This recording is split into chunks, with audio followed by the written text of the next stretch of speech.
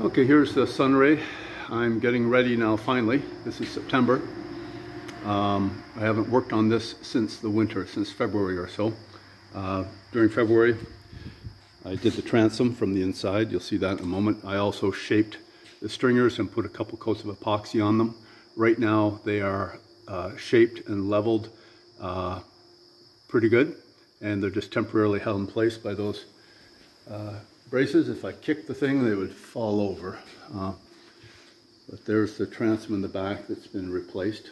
I'll be putting them with a uh, thickened mixture and I'll probably put some quarter inch fiber into it and do a generous fillet in the bottom of each of these so that I can glass.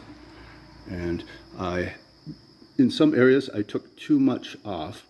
I'll probably use some thin shims of PVC from PVC lumber and tuck them in. It's compatible with epoxy, just to, to gap fill a little bit. Here are the stringers ready to sand.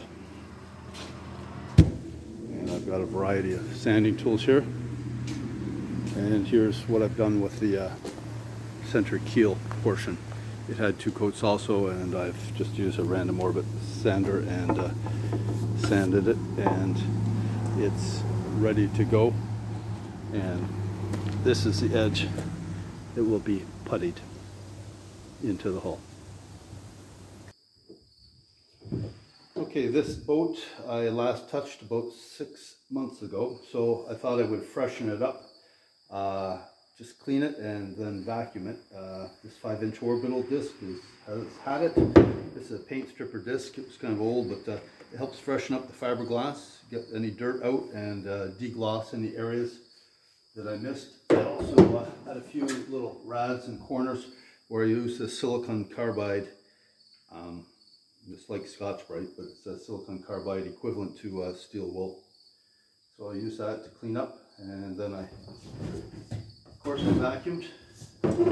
And the next step now is to uh, degrease and clean. So I have some acetone in my non-approved container and a bunch of rags. I cut up this shirt and you may recognize it from uh, uh, the video on the Trent Severn Canal. I wore that last summer, so I had to sacrifice a few shirts and this is one of them. So I will get to it and just wipe all the areas where I'm going to be putting in the stringers. Uh, that's pretty much uh, what I'm going to limit myself to at the moment. And so just like so and it's pretty wide open here. I've got the barn doors open, so uh, I shouldn't faint or anything. Just give a wipe, turn the rag, and I'm getting off some of the dust and any grease.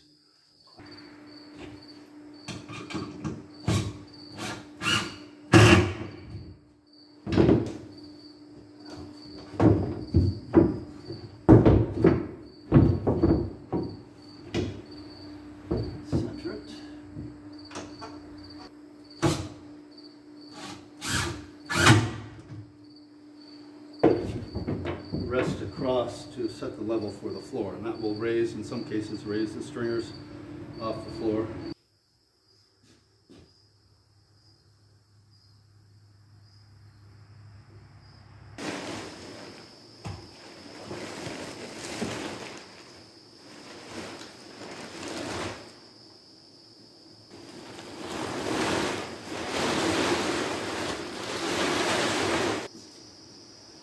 ready to go. I'm going to get myself a piece of plywood. This will be easier to scramble on, around on the hole on that. Okay. The stringers are lying in place. I've used some wet epoxy with a little bit of thickener in it just so it would stay. It's a slow epoxy. I've uh, just wet out the bottom of each stringer and also the hull immediately below it.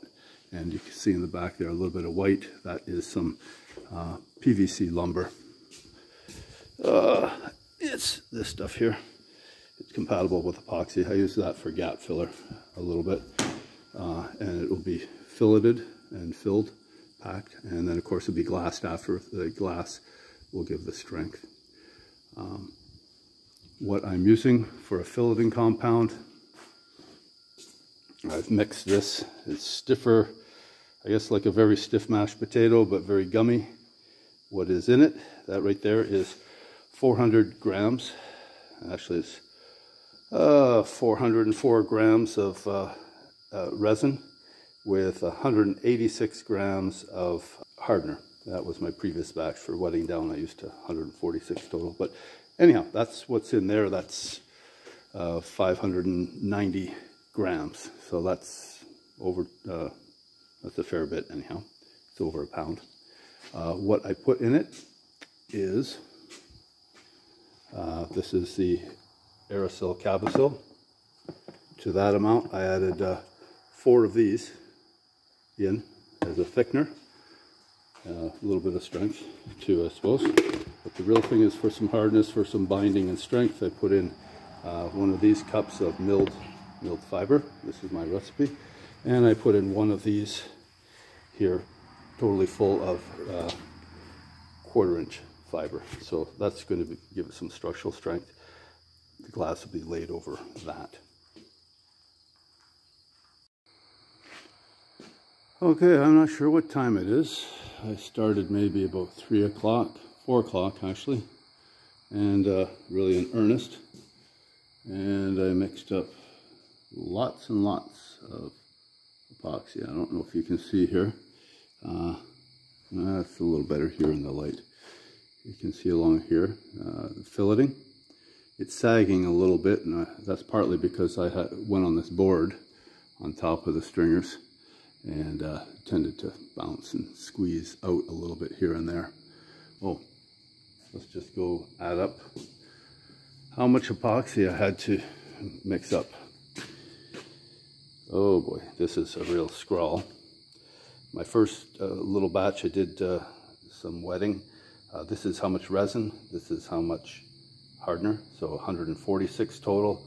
There's uh, 590, this is grams, 590 grams, quite a bit. That's several pounds of epoxy, and that's, of course, mixed with the Aerosil and a little bit of milled fiber and uh, some quarter inch chopped uh, fiberglass. Um, it's still very slightly tacky. It's a slow epoxy. We've had cooler weather evenings in the mid 50s, and uh, during the day it's around 65. Um, this morning, this morning would have been an ideal time. It was still pretty tacky and everything, but I got a call this morning that the Mercury motor was ready to pick up at the dealer. They had some success with it. That's the motor that was originally on this boat that I bought this boat for. Well, the boat was free, but the motor was for the Pogo houseboat. Anyhow, so I'm a little delayed getting at it, uh, but it's still a little bit tacky. Yeah, it's very, you can hear, I don't know if you can hear that, but my pants are sticking to the uh, stringers and my pants are right now sort of soaked. All my clothes, uh, I just have the same clothes on I had last night, old stuff. Little jigs I had across the stringers. Don't mind the noise.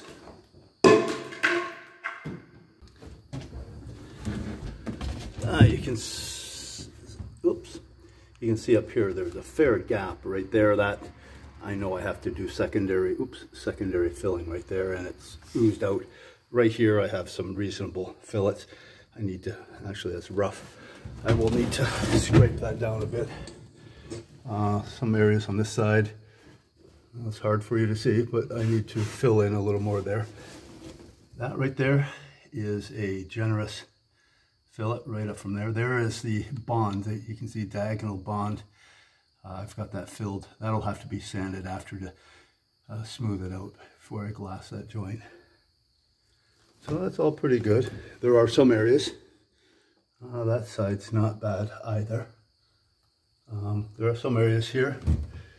The filleting is good up to somewhat. Well, actually it's undercut there. So I'll need to add fillet there.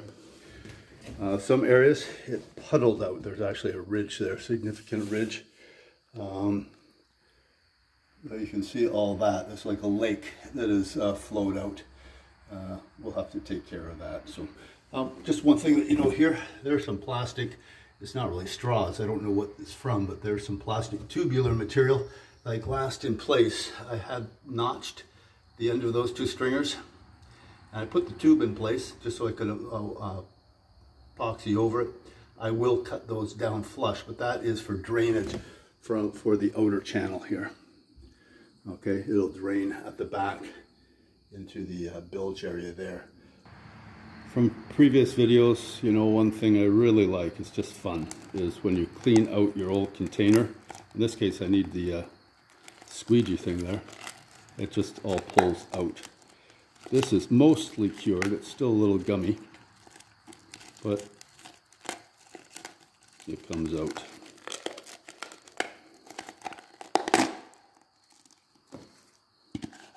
So the inside of that container is completely smooth, just like when I started. There's nothing in there. Ah, there's a little bit right there. It didn't come. I get with my thumbnail. Just like gum. It's easier to remove in the gum state now than later to sand it. So, flush cutter. Watch out for the noise here. I've already been picking away at this.